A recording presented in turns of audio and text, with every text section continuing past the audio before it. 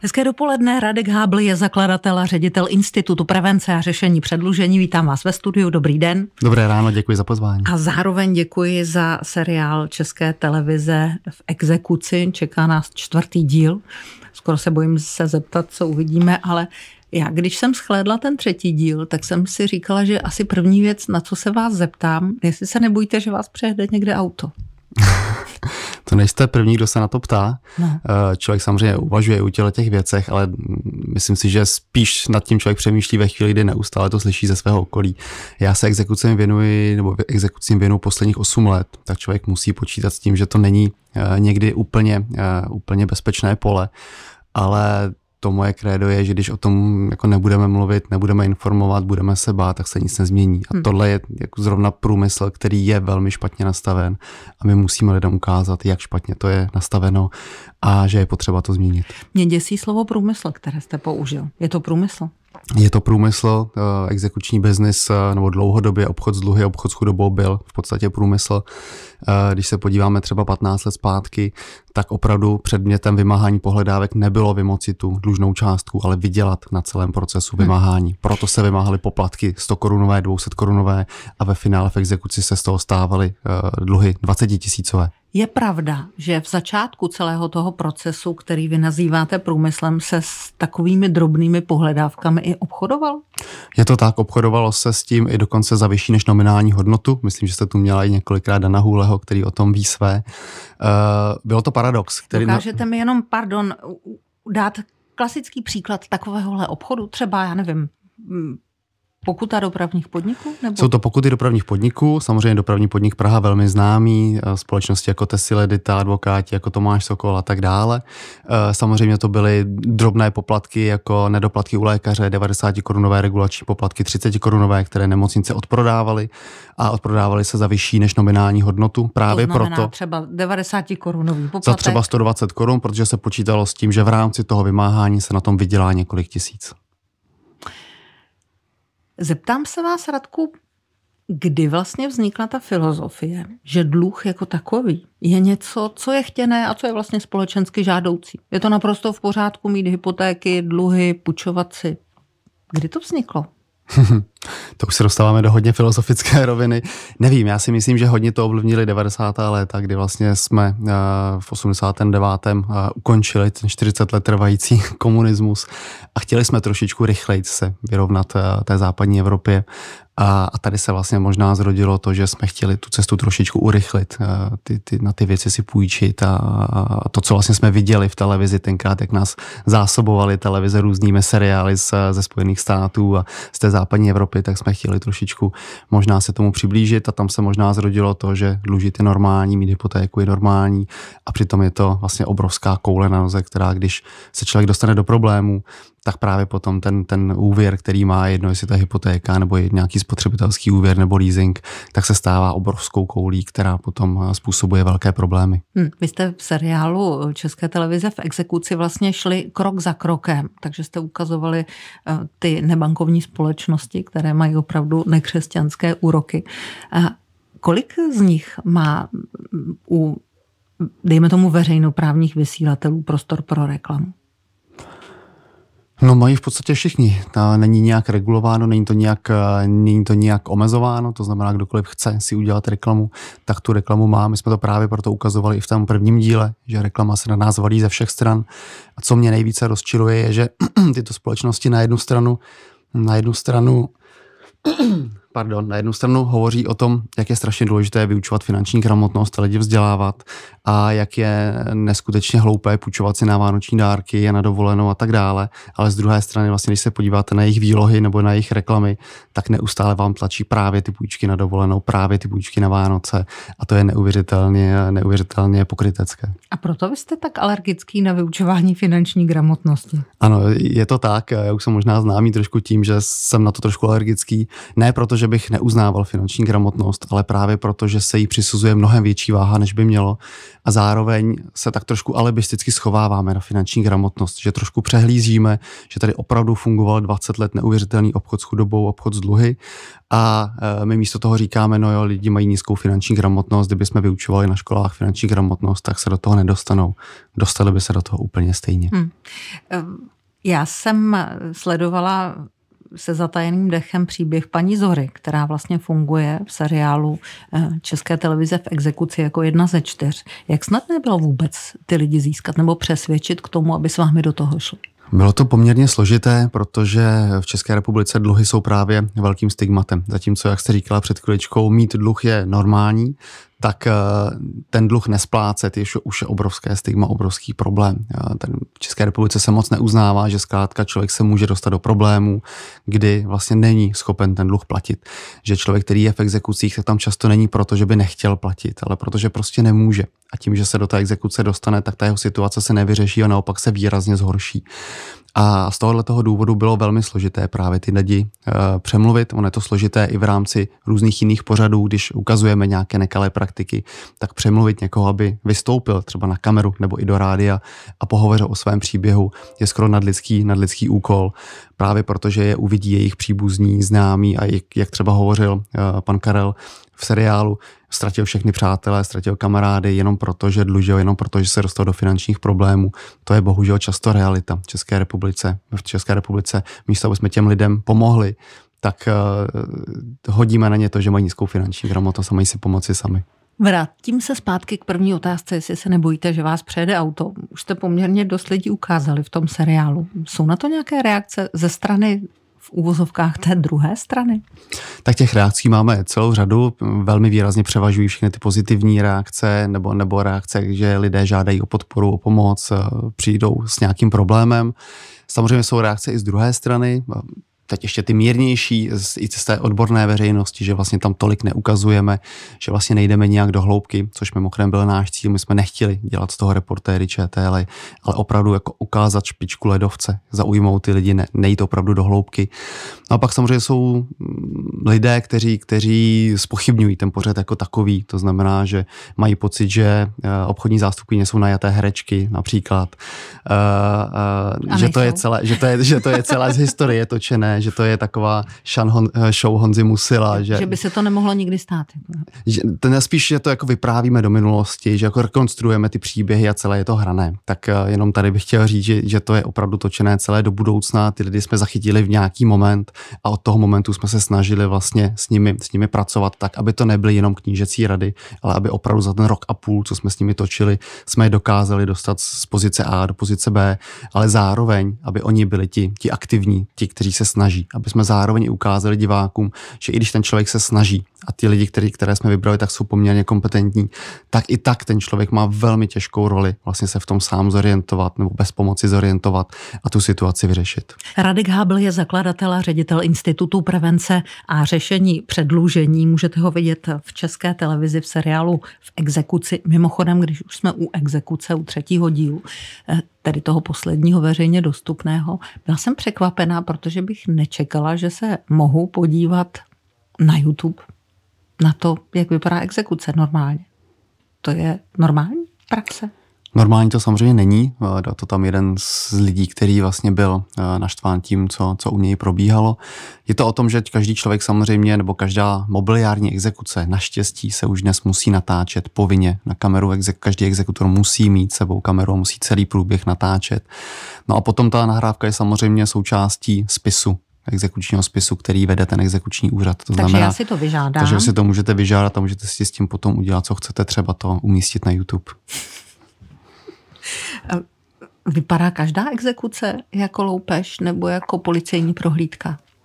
Já jsem to tam schválně vlastně tuhle tu nahrávku právě proto, nebo směroval jsem to, že to je loupež za bílého dne, protože to je vlastně, že se vám cizí lidé pohybují po bytě a vy tam nejste že vlastně se vám prochází po domě cizí člověk, soukromá osoba, která samozřejmě má statut úřední osoby, ale jinak je to soukromý podnikatel, který samozřejmě maximalizuje v první řadě zisk. A bez přítomnosti majitele domu vlastně si prochází celý byt a prošacovává vaše osobní věci. A přestože má na sobě kameru, tak nikdy nevidíte, co dělá třeba mimo tu kameru. A i tak je to samozřejmě rizikové. Jinak eh, mobiliární exekuce většinou probíhají za přítomnosti dlužníka a také to není nic příjemného. Představte si, že máte doma malé děti, jste, jste na kraji nebo na pokraji vlastně finanční krize nebo nevíte co a teď vám tam zazvoní dva cizí lidé, teď vám začnou procházet celý byt a vlastně oblepovat a zabavovat věci, které třeba máte rádi, které, které k tomu máte nějaké citové pouto a ty, vy s tím vlastně neuděláte vůbec nic. Respektive často to končí tím, že seženete někde pod nátlakem nějaké peníze, abyste se vyhla tomu, že vám ty věci odvezou právě protože ty věci potřebujete nebo k ním máte nějaký vztah. Jinými slovy, půjdu a půjčím si u nějaké nebankovní společnosti. Je to tak, bohužel často i ti vykonavatelé vás k tomu navádí, abyste si prostě někde půjčili, a je to jedno, jestli to je v rodině nebo právě u té nebankovní společnosti, protože zase, jak jsme u toho stigmatu, tak ty lidé nejdou, eh, neřeknou to v rodině, neřeknou to příbuzným, neřeknou to kamarádům, ale raději jdou a půjčí si, půjčí si u té nebankovní společnosti a tím tu situaci samozřejmě dále, dále zhorší. Hmm. Na druhou stranu umím si představit takový hospodský dialog, kdy mi někdo řekne, no fajn, a proč by mi mělo být líto někoho, kdo neplatí své dluhy třeba u zdravotní pojišťovny, když já platím všechno, sociální, zdravotní, prostě jsem řádným občanem tohoto státu. Proč? To je přesně to, co jsem říkal na začátku, že vlastně nedokážeme pochopit, že člověk se dostává do té situace ne úplně často svojí vinou, ale prostě proto, že není schopen platit, ne, že nechce platit, ale že prostě nemůže, nemá z čeho platit. A ty situace se stávají. Běžně lidé ztrácí práci, mají různé úrazy, jsou nemocní, vypadne jim příjem. Když mají nízký, nízký příjem, tak samozřejmě nemají příliš prostoru udělat si nějaké rezervy. A pak, když přijde nějaká nenadálá událost, teď tady vidíme krásně energetickou krizi, předtím to byl covid, tak eh, velmi snadno spadnou do těch dluhů a neudělají s tím vůbec nic. Ono se často také říká, každý, kdo chce si najít práci, tak si ji může najít. Ono to samozřejmě platí v těch větších městech, je to velmi jednoduché, ale v těch menších městech nebo na vesnicích člověk zkrátka nemá tolik příležitostí, kde tu práci si sehnat když už se dostane do exekucí, tak ta šance se radikálně snižuje, protože pro ty zaměstnavatele je to tak obrovský problém administrativní i z hlediska nějakého rizika, kdy vlastně pod pokutou 50 tisíc ze strany exekutora musí neustále poskytovat součinnost a musí správně srážet zemzdy, tak spousta firm a zaměstnavatelů se vyhýbá zaměstnávání lidí v exekucí. A pak co ten člověk má dělat? Samozřejmě nemůže splácet svoje dluhy, když, když nemá ani zaměstnání. Hmm. Radku, vy jste pracoval v korporátních firmách poměrně úspěšně a poměrně dlouho. Proč vám na těch lidech tak záleží, že děláte, co děláte, že vznikla mapa předlužení, že vznikl institut prevence a řešení předlužení? Eh, já jsem v korporátu strávil hodně let a trošku jsem tam ztratil smysl eh, té práce, kdy člověk vlastně je jedno na jaké pozici, většinou je to o tom samém, že tam vyplňuje nějaké stolové tabulky, powerpointové prezentace a, chodí na, na různé meetingy, které nemají, nemají žádnou přidanou hodnotu. Eh, ráno začne tabulkou číslo jedna, večer skončí tabulkou číslo 38 a jde domů. Uh, já jsem ztratil ten smysl a mě hrozně vadí uh, nespravedlnost nebo hrozně mě vadí to, že si někdo dokáže postavit biznis na zranitelných lidech, uh, na lidech, kteří se dostali do krize, na lidech, kteří vlastně jsou nějakým způsobem v nouzi, v krizi a tak dále a, a hrozně mi to vadí. Ať když si chce někdo vyskakovat, ať si vyskakuje na sobě rovné a ne na lidi, kteří opravdu se nemohou bránit nebo se mohou bránit velmi, velmi složitě. To mě, to mě na tom strašně vadilo. A druhá věc, která mě rozčílila, že vlastně přesto, že to byl tak obrovský problém, tak tady bylo naprosto minimum dat. Z korporátu právě jsem byl zvyklý na to, že tam eh, data jsou vlastně vším, bez dat nejste schopná vlastně fungovat. Zatímco tady jsem přišel, tady jsme měli skoro milion lidí v exekucích a nevědělo se o tom eh, lauter nic tak to jsem říkal, že, že to změníme a trošku do toho vneseme, vneseme světla. A nevadí vám, že nebudete mít bazén a tu a, a spoustu těch dalších pěkných věcí, nevadí, já jsem... které vám nabízejí ty společnosti, které chtějí, abyste se zadlužil a tak dále. Nevadí, já jsem měl poměrně dobrou finanční situaci, když jsem v tom korporátu byl, ale nebyl jsem příliš šťastný. Teď ty peníze nemám, mám jsem někde na třetině toho, co jsem měl v korporátu, ale zase jsem našel ten smysl života a zjistil jsem, že ten smysl je opravdu někde jinde a a mám, mám pěknou rodinu, hezký zdraví děti a to, jsem spokojený, mám 14 let starý auto a, pořád jezdí a dopraví mě z místa A na místo B, já jsem spokojený. No takhle vypadá člověk, který vypadá, že ne, nepotřebuje ani poděkování za to, co dělá, protože to samotné je náplní. Ale přesto, když přijde takové poděkování, eh, jak vypadá? Tak je to samozřejmě motor pro vás. Eh, člověk se setkává s různými situacemi, když přijde občas eh, sem tam někdo eh, a poděkuje za to, co člověk dělá, nebo že mu to pomohlo, nebo že se z té situace dostal, tak samozřejmě je to k nezaplacení. Já bych řekl, jak reklama na Mastercard. Když jsem se dívala na ty exekutory, tak jsem se potom chviličku věnovala tomu, jak u nás exekutoři fungují a jak fungují jinde v Evropě a zjistila jsem, že třetina států Evropské unie má státní exekutory. Proč mi ne? To je dobrý, dobrý dotaz. U nás vznikli exekutoři uh, vlastně v roce 2001 na poput toho, že tady bylo poměrně uh, slabé vymáhání pohledávek v 90. letech, což se není čemu divit, uh, tady nefungovalo celá řada věcí.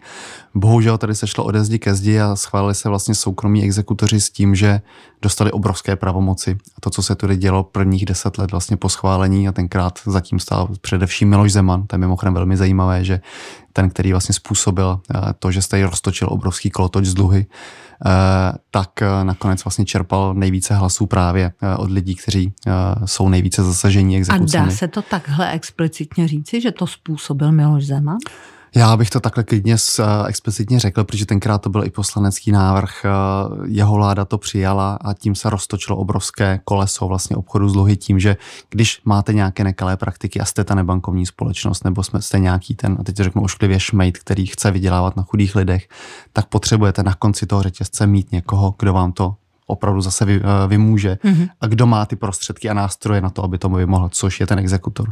A ve chvíli, kdy vy jako ta nebankovní společnost nebo jako uh, ten, který vlastně má ty nekalé úmysly, si můžete toho exekutora ještě sám vybrat, no tak vlastně pak propojíte vlastně všechny ty části toho obchodu z dluhy uh, v jeden uh, nekonečný, nekonečný cyklus.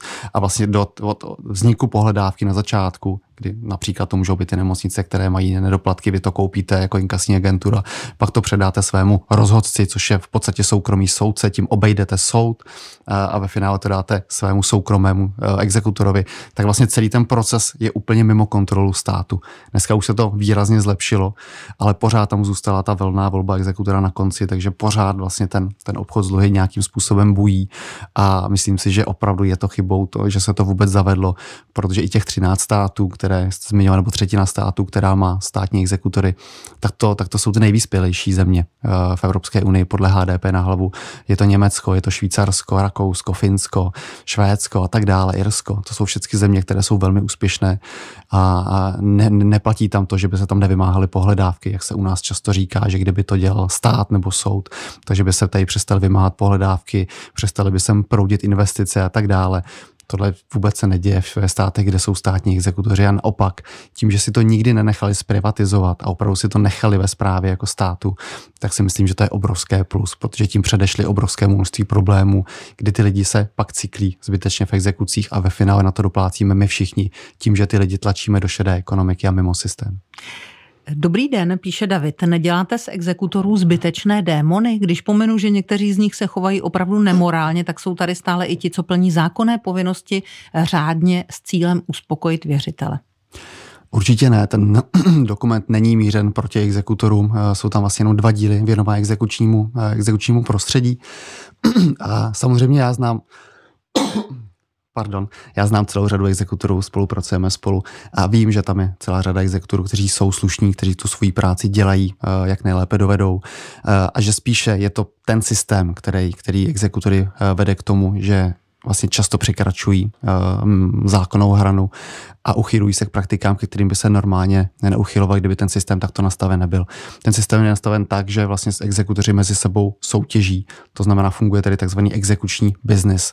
Uh, vlastně čím víc, exekut, čím víc exekutor uh, získá dlužníků, tím větší má profit, tím větší má zisk a proto dělá všecko proto, aby se zalíbil svým věřitelům a často i za hranou vlastně zákona jenom proto, aby získal ty velké zakázky od velkých věřitelů, jako jsou banky, pojišťovny, dopravní podniky, advokátní kanceláře a tak dále. A to si myslím, že je špatně, že exekutor zkrátka má být nezávislý, má ho přidělovat soud a nikoliv, že se ho vybírá volně věřitel, protože pak to právě vede k tomu, že ti nejdravější a ti, kteří opravdu překračují zákon, tak jsou potom ti nejsilnější, největší a postupně ovládnou celý exekuční trh. Takže zpátky k té otázce, neděláme z exekutorů eh, arciďábly a dokonce i v těch dílech zmiňuji, že to nedělají všichni ty nekalé praktiky a snažíme se na to poukázat jako na systém, jako na celek. Mm-hmm. V tom seriálu jsme eh, vlastně začali tím, že vy vysvětlujete, jak vznikají dluhy. Eh, vaše infiltrátorka, která také byla mým hostem, tak šla do, dokonce byla i na call centru, tam se zaměstnala, tam jí vysvětlili, jak se to dělá. Teď jsme u exekucí čtvrtý, pátý, šestý díl, kam nás to zavede? Tak hned ten následující díl, který bude teď ve středu, tak nás zavede do prostředí tzv. oddlužovacích společností. To jsou jednak společnosti, které lidem zpracovávají návrhy na povolení odlužení k soudu a účtují si za to poměrně nemalé peníze. Na to, že ten člověk je v, v exekucích, v dluzích, tak ještě po něm chtít nějaké peníze mi přijde také velmi amorální.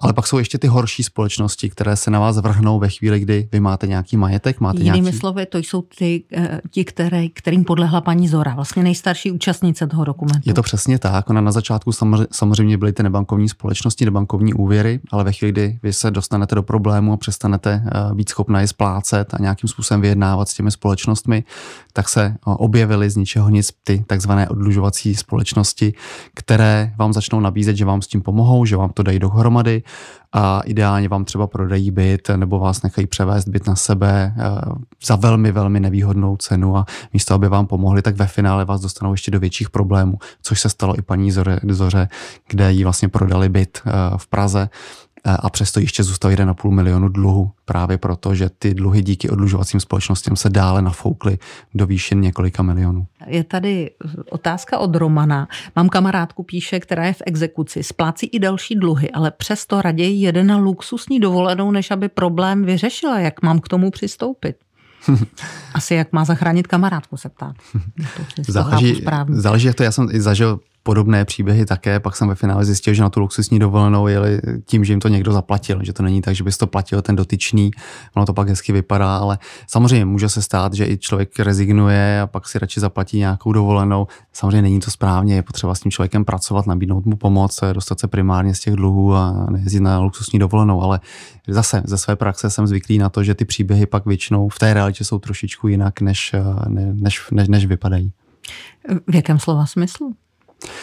Jak jsem říkal, že vlastně na tu dovolenou ten člověk třeba jede, ale jede tím, že mu ji někdo zaplatí, že ji neplatí ze svého. Mm-hmm. Že právě eh, často ti lidé jsou tak eh, vlastně dlouho v těch dluhzích, exekucích a tak dále, že teď nemluvím o luxusní dovolené, ale je to nějaká klasická dovolená, že jim zkrátka je někdo vytáhne a pomůže jim eh, vlastně na tu dovolenou odjet, aby si trošku odpočinuli, trošku se z té situace dostali. Pokud je to tak, jak říká pan Roman, to znamená, že ona na jednu stranu splácí dluhy, je v dluzích, ale pak si na, na luxusní dovolenou, tak samozřejmě to je něco, co nemůžeme schvalovat a určitě to, určitě to není dobře. Uh-huh. Pan Korej spíše, dobrý den, mojí matce exekutor vydražil pozemek v hodnotě 1,3 desetiny milionů. Původní dluh byl 12k, tedy já nevím, jestli chápu správně 12 korun. Exekuční částka 33k tedy 33 korun. Celé to komplikuje duševní stav maminky, neschopnost se s ní domluvit, není omezená na právech. Je to přiměřené? Může se tohle stát v právním státě? Uh, jako je možné, aby z 12 korunového dluhu Vzniklo něco takového? Ono zase ty příběhy bývají různé. Tady potřeba eh, zmínit. I interpretace asi bývá různá. Je tady potřeba zmínit, že eh, dříve se samozřejmě mohlo prodávat za jakoukoliv cenu, i když ten dluh byl poměrně malý, pokud se hlali všechny ostatní prostředky. Dneska již to možné není a ten dluh musí být minimálně 100 000 korun, aby bylo možné dražit. Na druhou stranu ono to někdy vypadá tak, že ten člověk má dluh 12 korun a vydraží se mu pozemek, ale třeba pokud jsou tam další dluhy v pořadí, pokud je tam třeba více exekucí, tak je potřeba to sčítat. To znamená, že ano, ten exekutor to třeba prodá za těch 12 korun, ale za sebou má další exekutory, dalších pět, kde ty dluhy jsou třeba větší. To znamená, ten celkový dluh ve finále je mnohem větší a ten neprodává se pozemek kvůli 12 korunám, ale třeba kvůli několika set tisícům. Hmm. Ale samozřejmě excesy, které, které pán zmiňuje, tak se dříve uh, mohly stávat a mohly se stávat, i když tam žádné dluhy nebyly, tak bylo možné prodat vlastně dům, majetek a tak dále. A to je to, o čem jsem mluvil v těch prvních deseti letech uh, po uzákonění soukromých exekutorů, že zkrátka se stávaly obrovské excesy a exekutoři, zvláště někteří, šli právě po tom, že, uh, že lidé měli majetky, měli pozemky a oni velmi rádi je prodávali právě proto, že jednak z toho získali velmi zajímavý profit z každého, z každé z každé částky, kterou, kterou vymůžou, tak dostanou 15%, ale zároveň, zároveň vlastně na ně byly navázané další společnosti, třeba realitní kanceláře, které to potom obratem ruky prodávaly dál za mnohem vyšší cenu, než za kterou to koupili v té dražbě. Paní Zora z vašeho seriálu taky přišla o dům. Jakým způsobem? Přišla, přišla obyt, eh, dům naštěstí, naštěstí zachránila, do dneška eh, se divím, že se jí to podařilo nakonec.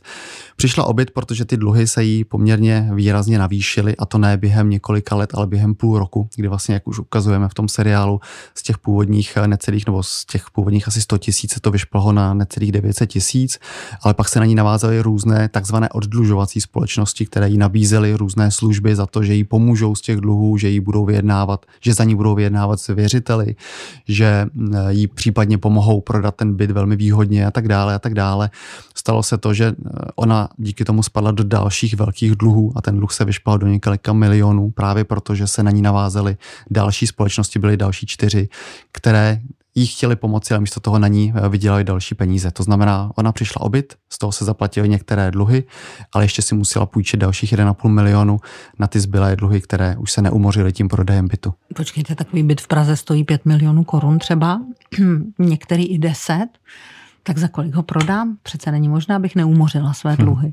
Dneska ano, nicméně toto už je z roku někdy 2015, to znamená, ta situace tam tenkrát eh, byla trošičku jiná, i když samozřejmě ty ceny v Praze jsou vysoké, ale zase ten byt jsem neprodal za příliš vysokou cenu, byl to někde kolem 2 milionů korun nebo 2,5 milionů korun, za co se prodal.